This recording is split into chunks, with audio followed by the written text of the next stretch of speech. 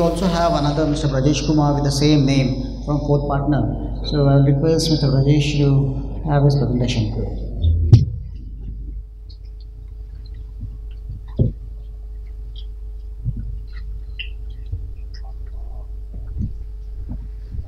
Yeah, good afternoon, ladies and gentlemen. Uh, I know it is very difficult to uh, listen so many uh, in, new thoughts and uh, ideas uh, in post session. So I, I'll be very uh, speaking very simple things and which can be in fact implemented into the system, O&M system. And uh, first of all, I must thank EQ team for uh, bringing this topic for discussion. Uh, asset management is very important thing, and we must think uh, in terms of growth of solar uh, industry altogether.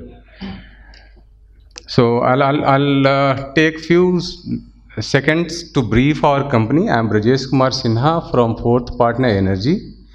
Uh, we are seven years old organization, uh, having team of 150 plus uh, dedicated professional, uh, working across 10 offices, operating in 22 states, having portfolio base of 48 plus megawatt of capacity and uh, 60 plus order book. Having implemented solar installations we do only rooftop so we have done 1450 plus installation in 22 states and that's why we are second largest tpc player uh, in india as per uh, bti latest report. Uh, you can see the white dots uh, those are our uh, installations. And uh, yes we are working very hard to fill all the blue map with white dots. And soon we will achieve uh, the balance portion. Uh, you know, in- a good asset management system uh, provides, uh, in fact, uh, better proposition for uh, the developer to offer better, uh, to meet the expectation of investors, to fulfill the commitment, the numbers, achieve the numbers what we have projected to the investors. Some of the factors which directly affect uh, the asset management systems are uh, data management and uh, what Mr. Brajesh has already discussed, the quantum of data we get. Uh, we need to check the quality of data, what we get, the cost of data, what we uh, receive uh, in our portal, and uh, the cost and time involved in transforming the data into information, and then in fact, the alignment of all those data and asset management, asset management system into O&M, that is very important aspect. So data, uh, data management is a, a key aspect. Environmental aspect also we all know and slightly it has been covered. I'll not uh, in fact discuss um, in that. Technical uh, system design is very important aspect. Even uh, O&M no doubt asset management system is important aspect but we need to see the designing aspect also installation at site the workmanship very critical and we have to do uh, thorough analysis of all the installations. Uh, module handling at site likely uh, rightly pointed out uh, by one of my uh, in fact team members like micro cracks may develop during handling of modules. Uh, termination that is very important else hot else heating of various connectors and fire hazard may take place. Safety at site manufacturing defects. Uh, human aspect is improper handling of modules terminations lack of proper training and safety awareness. Uh, pre-asset management check. In fact i will run through all the headlines and we can discuss during our discussion uh, period. Uh, pre-commissioning and quality checks and site uh, safety checks what we had to do. Power quality analysis post installation like uh, what is wha- how is the quality of power available at site uh, what are the grid, grid fluctuations frequency fluctuation or voltage fluctuation? Or there are some problem at client side also like underrated mcb or cable and number of things are there.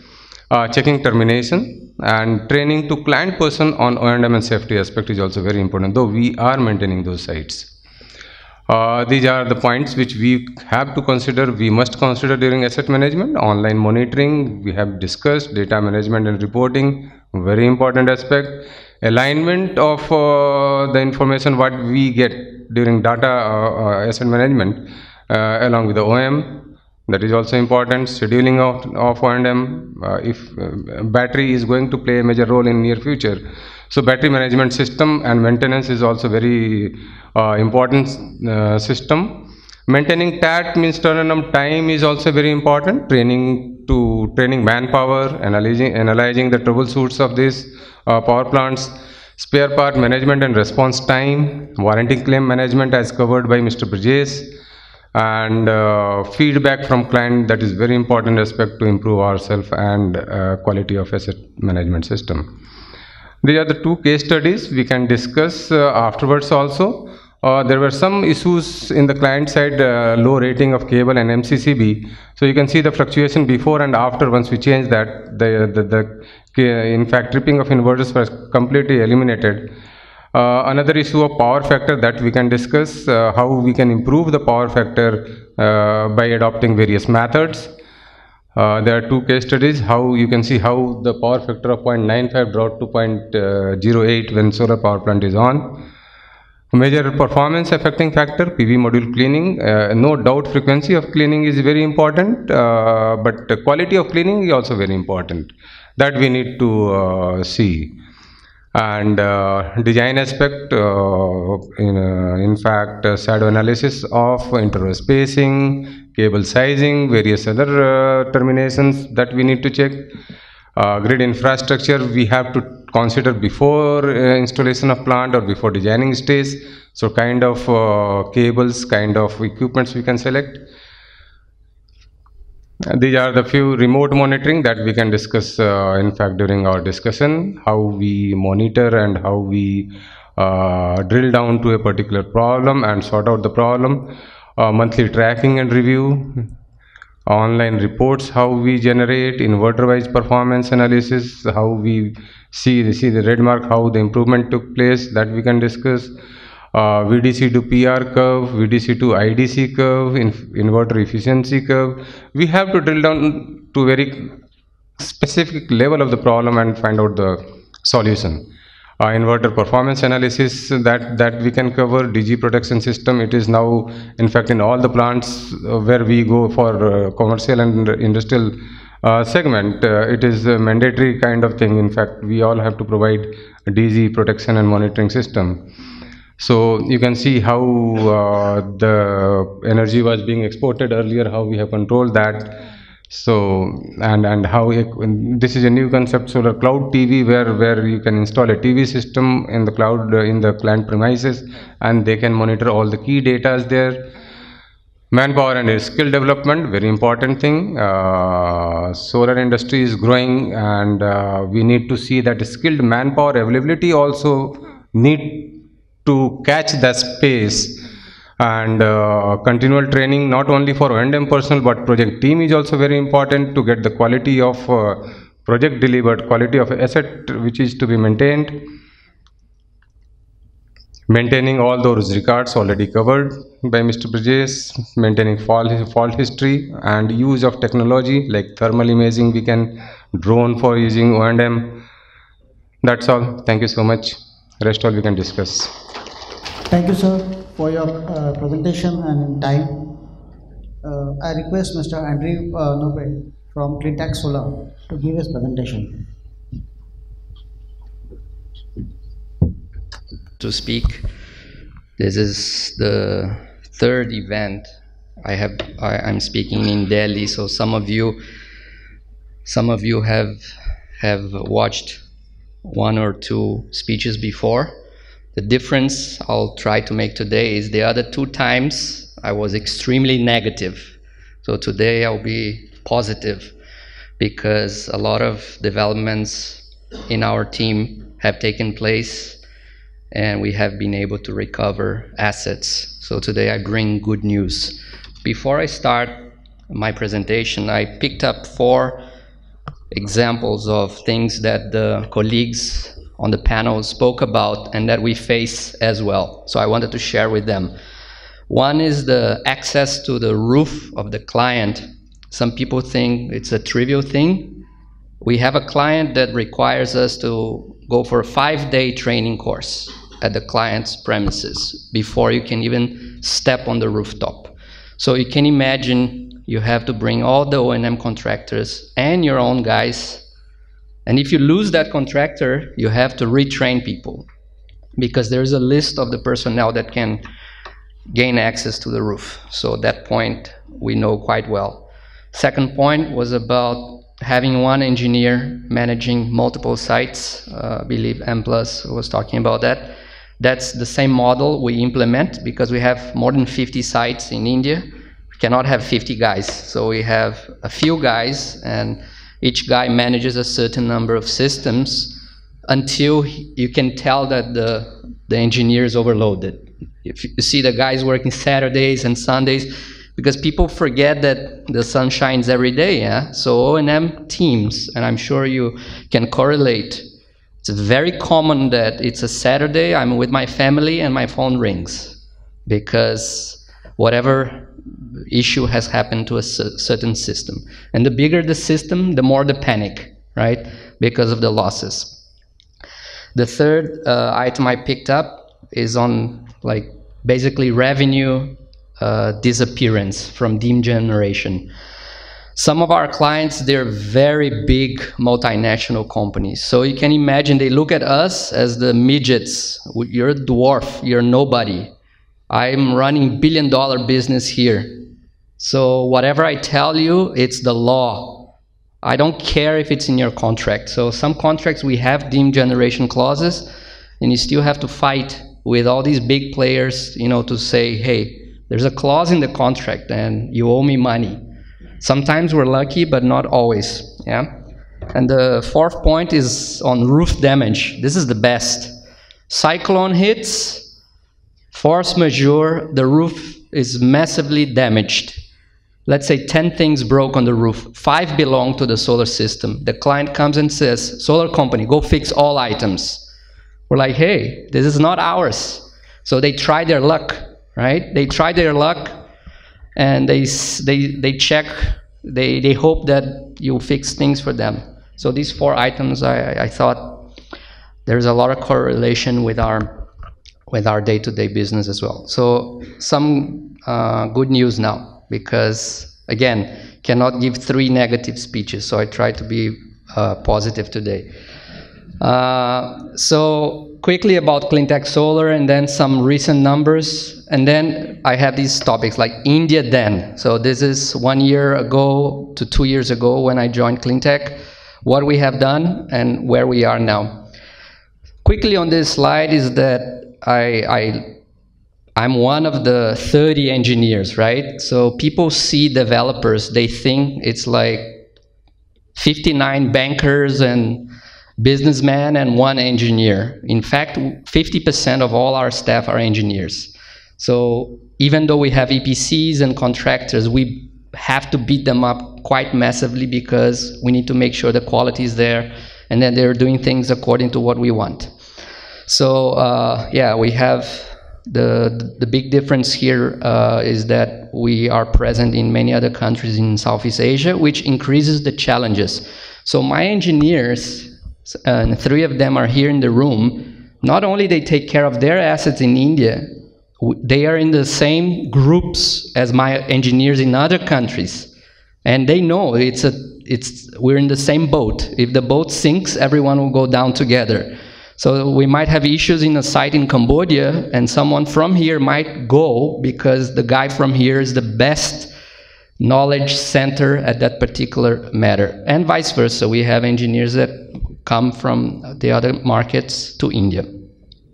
So very important part, you know, this is an engineering piece of equipment. You need engineers uh, in your enterprise to, to hedge the risk. Uh, some uh, fresh numbers for you. Uh, so we're present in six countries, and by the end of this year, it'll be eight. Uh, we're signing a few deals in Vietnam and Indonesia portfolio, but India is our bread and butter, 70%. This number has not moved much in the past two years. Uh, 70 megawatts of signed deals, nearly 50 megawatts running. And a major USP for us is there is this push from big MNCs like headquarters in America or headquarters in in Europe just, just tell all their factories in Asia you must solarize because first of all solar is cheaper. Second of all, we want to be green because everyone is green. So solarize all roofs. And then we have clients that have roofs in let's say Vietnam, Singapore, and India. So we can we have this ability then to deploy for the same client in multiple geographies and and in some cases the procurement team is is uh, is following the rules of the headquarters. So that helps us in secure in securing uh, multi-site deals. For India, this is our footprint: uh, north, west, and um, and uh, south, with hubs here in Delhi, Chennai, uh, Pune area. We have a design team in Hyderabad and uh, again, 50 sites, very complex, very complex to manage that. I tell people, look, it's much easier to manage two 25 megawatt PV plants than to manage 20, 30, 40 rooftops. So the amount of work is, uh, is uh, considerable. And we are also deploying a few ground mounts, but in small scale, uh, also with open access coming up some of our logos here. Uh, some I, I realized that some of the clients match with the previous uh, speaker. So yeah, so uh, you know, just look outside your window of your airplane every time you're reaching a city. The number of rooftops is massive. So I I usually I don't see people as competitors because the number of roofs outweigh the number of available companies. My company can maybe do 100 projects at once. And the other companies, maybe they can do, I don't know, 100 or 200, doesn't matter. The number of roofs is massive out there.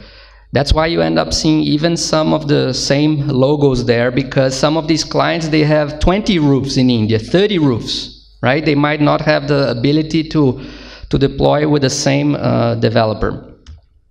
So uh, these are a few of our big monsters on roofs, uh, and then you can see you can really put some volume uh, on these big factories. And again, some of these factories are like this Mazak is a Japanese factory, so you have to follow the safety standards, all the paperwork, which is driven directly from Japan. So this is a very complex exercise. You might say, ah, in Cambodia I cut corners, but then you know the you cannot cut corners because some of these clients they have 10 times more engineers than you have. So you go to a meeting you and another of your engineers you enter the room you you two are alone there and suddenly 10 engineers come. And they bring civil engineer electrical engineer all sorts of types of engineers. So this is very complex uh, business model when you're deploying in big mncs rooftops uh, okay, so when I started at Cleantech two plus years ago, uh, so this is what we found. It was panic across the board uh, because the, the performance of the assets dropped. So we started detecting issues in the winter. So it was a combination of soiling and air pollution. And investor is panicking because the, re the returns are not there. So it was a very difficult time because you cannot solve things from night to day, right? Uh, it's a continuous effort. So, and we had issues in most of our India sites, whether it was soiling or whether it's power factor. Client says my power factor moved 0.01. Go fix. So it's a, it's a, sometimes I see my life vanishing uh, before my eyes, but I like what I do. Have been in solar for 12 plus years. Uh, so this is first time I came in Delhi to Delhi two years ago. Could not see the sky, and then I'm like, this is really bad. So I had written a paper about haze in Singapore. So we applied the same knowledge to Delhi and found that the losses were around five percent on an annual basis. Uh, then the next point was to make the business development guys, like my colleague here, Anuvrat, is in the room, is because it's like, look, if I'm X kilometers from downtown Delhi, am I out of the blast zone? And I told him it takes time. And of course, he wanted the answer on the spot. So I said, no, give me, give me one year because you have to see the entire seasons play and then you can uh, make a decision. So we have some assets that are 70 to 80 kilometers from downtown. And we have many assets, so that gave us a lot of data to analyze. So we, we wrote the paper about soiling, uh, soiling and haze, and that gave a lot of, uh, uh, I mean, traction because I shared this with the community. So if you don't have the paper, just come to me. I'll share the PDF with you. Then last year I wrote another paper about gauging the performance of assets in India because the sensors get dirty very fast, so it's useless to use performance ratios. So this paper talks about different ways of gauging the performance. Again, PDF is ready to roll. Just come to me, and I'll give you the uh, uh, give you a copy. So, what type of homework we did? We intensified the cleaning cycles for Delhi during winter. We went from like once a month, no, two times a month, three times a month. Some sites is even four times a month. Uh, cleaning cycles were optimized across the country. Some months you might need zero because it's very rainy, and then other months you might need two or three cleanings. So we uh, adjusted those. Training of uh, contractors and diversification because you know cannot have contractor comes and says, I can handle. And then I'm like, no, you can't because it's too many projects for you. So we needed to diversify to, to diminish the, the risk on our side. Our team started with one engineer, Rohit, here in Delhi, and then you know he did a lot of this work of rectifying old assets in our portfolio. We call these assets legacy assets. So now these assets are back at a, a, a health level, which is uh, uh, in line with what the investor wants. Andrew, I will request you to. Sure. Uh, I think I have one more slide. Um, optimization of business model, right? Uh, so we know how much we're going to bring. And what's the situation now? Last time I spoke in Delhi, I said, I dare anyone in the audience to find me a system here in Delhi above 1400 kilowatt hour per kilowatt peak per annum. We have one in our portfolio, and it's 70 to 80 kilometers from downtown. So now I tell the business guys, you can use 1400 in a business plan if you are 80 kilometers. Now the question is, what if you're at 50, 40, 30? Because I tell you the pollution is not linear in this city, very complex exercise. But this is good news. Uh, other assets in India improved, and this boosts the investor confidence. A lot of investors were asking me, so why should I put money in India? And we're like, no, no, no, no, relax. It can be done. Just give us some time. And we have demonstrated that.